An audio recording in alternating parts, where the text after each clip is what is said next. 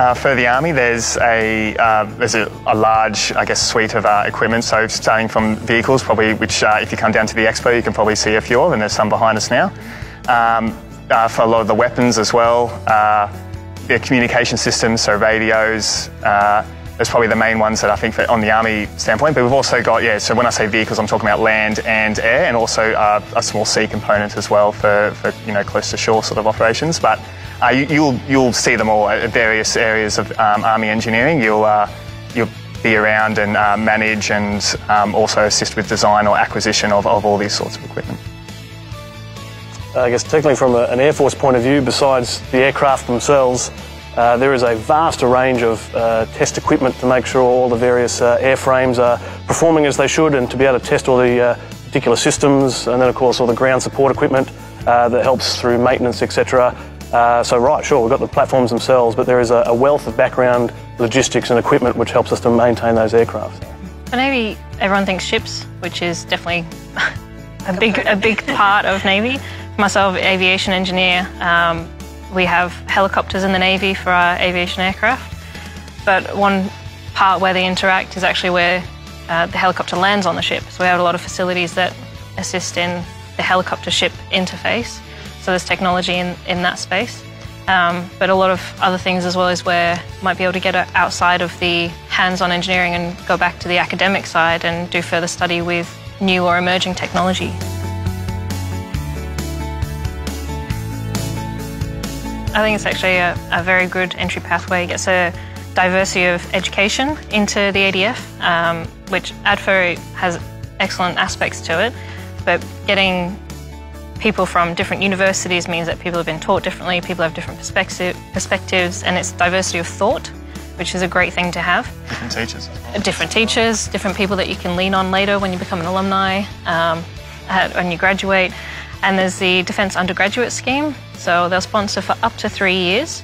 And you can have, after you've studied for one year of a four year degree, you can join the military and be sponsored for three years where you get a salary, you get the benefits of being in the ADF, uh, which includes uh, housing assistance and medical, and you get to do Anzac days, and um, you also get to remain in your current uh, location. Uh, if you, you know, you can change degrees if you, uh, if that's the way that you're going. Uh, so there's, there's a, definitely a varied range of opportunities for someone who is currently studying in a degree but still fancies a defence role later on after they finish.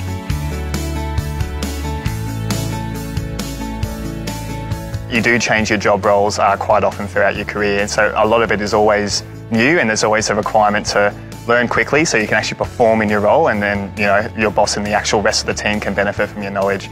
So right now I uh, am working in a technical role where I have to be familiar with a lot of international and Australian standards uh, for a lot of different aspects uh, for what uh, Army want in the equipment that we're providing. So I've got to make sure that I'm familiar with them all so I can double check when uh, industry provide us solutions to what we've asked them to provide, that they meet Australian and, and international standards. And that's a lot of reading uh, and becoming familiar and then being able to apply that knowledge to, to the, uh, the documentation and the general uh, packages that we're provided in terms of, so yeah, it is a big part of it. And that would be service-wide? Yeah, defence uh, in particular, I know from an Air Force point of view, ongoing professional development is, uh, is considered uh, very important. Uh, they're always looking to, to further you, and that, you see that through the job rotation and the various jobs that we get to do through our career. Uh, but yeah, in terms of courses and further study, uh, lots of avenues to continue to enhance you as a person and as a capability for defence. Have you had any opportunities to take further studies um, in your careers to date? Yeah, I think Big I think smiles we, no, I think uh, we're all probably going to say something similar. But yeah, I, I was uh, and probably saw that in the video that I was given the opportunity to study a masters uh, overseas. So I lived in the UK for uh, for 12 months, um, where I went to the Defence Academy of the United Kingdom uh, in Shrivenham. And I got to study uh, a master's which was sponsored by Defence um, to gain knowledge in a particular area that they were interested in, in their personnel to have, which was um, military electronic systems engineering. So that gave me knowledge in radar, uh, communications, electronic warfare, um, electro-optics, uh, which is something that I, uh, communications especially, it's something that I apply in my current role. And how long were you over there for? Yeah, so 12 months I was over there for. So yeah, it was good. Yeah, I got to take my family as well, which I, I did mention. And uh, yeah, so we had a great time uh, together, just experiencing a new country. We got to uh, definitely deal with uh, like a foreign military as well a lot, which is interesting to see how they do things. And uh, yeah, it, and I'm sure we will all have reasonably sim- similar stories about uh, yeah how enjoyable it can be.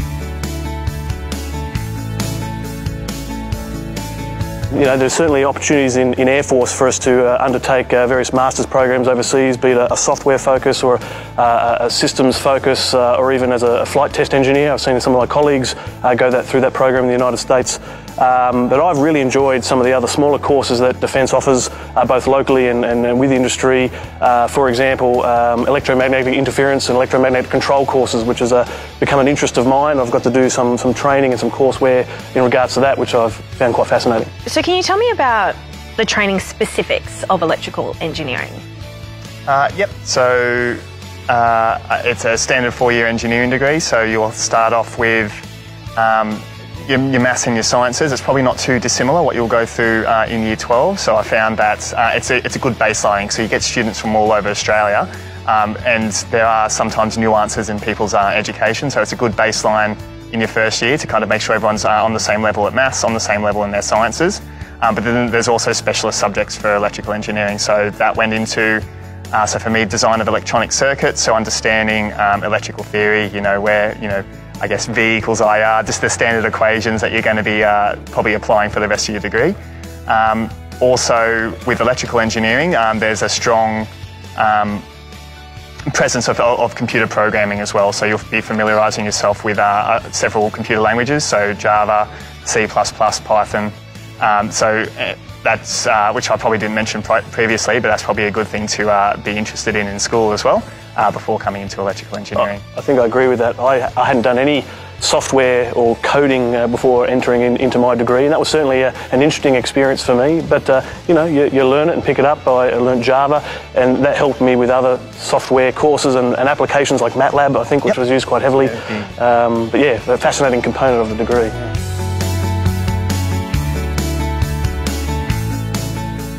You know, as a defence individual, sure, there are times that we have to do what we probably call overtime, um, but that it is made up. Uh, your supervisor chain acknowledges that, and you're provided the appropriate amount of leave uh, in response. And I guess it's important to look after your people. You, you don't want to, uh, uh to, to run them out. Um, otherwise, you know, you can you can lose that capability. So uh, yeah, it's definitely acknowledged.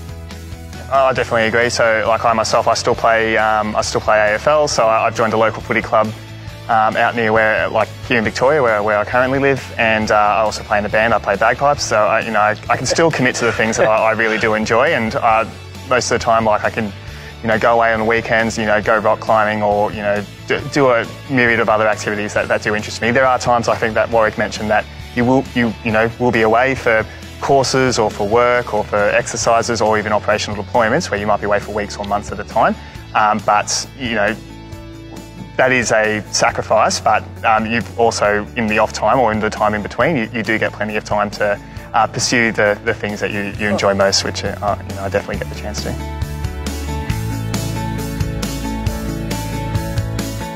Your attitude and, and your approach to not only your studies but your future career, those around you, uh, it makes a big difference. You have to be driven, uh, you have to be motivated, you've got to find out what motivates you um, from a defence perspective or an academic perspective uh, and, and, really harness that. Uh, and a little bit of emotional intelligence certainly goes a long way. Um, and uh, with, the, with the right attitude, I think uh, there, there's no challenges that, that, that, can't be grasped or solved. Definitely want to echo the, um, you know, ask for help if you're, mm. if you need it. There's in aspects within the degree, within further education after you finish your degree and the um, areas that you'll be posted to in jobs, but also, you know, the physical aspect. We have uh, uh, personal trainers throughout the military, in the Navy, Army, Air Force, and in my experience, they've all been amazing. If you are, you know, if you want to work on a cardio aspect or a strength aspect, they've always been amazing and happy to help um, and push you that little bit harder than you might be able to push yourself. So it's, it's, you know, in the terms of facilities that you've got access to, there's always a gym on base the PTIs have uh, always been happy to help with getting you to whatever fitness goal it is that you're trying to achieve. And there's peers who are always happy to assist you with discussing engineering aspects, which I'm finding my current posting surrounded by engineers for the first time ever, where we'll find some very interesting engineering conversations going on. you, need to know what you're getting yourself into, sure. So know um, kind of, you know, you, you got to demonstrate that you understand that you're joining the military, you're joining an organisation that you know expects this, this, and this, and has this. But don't go in there saying I know everything I need to know. Uh, you know, there's nothing more that you can teach me because that's obviously you're going to be that's going to be seen through. Um, you've got a lot of years at, especially at ADFA, you've got a lot of years to, for the Defence Force to develop you into what they need you to have, and there's a lot of training that you're going to um, be given. So going in there with a mind of, uh, like, this is what I do know, I don't know this, I'm, you know, and I'm excited to learn about it. And I think that's going to be put you in good steads when uh, applying to join the Defence Force.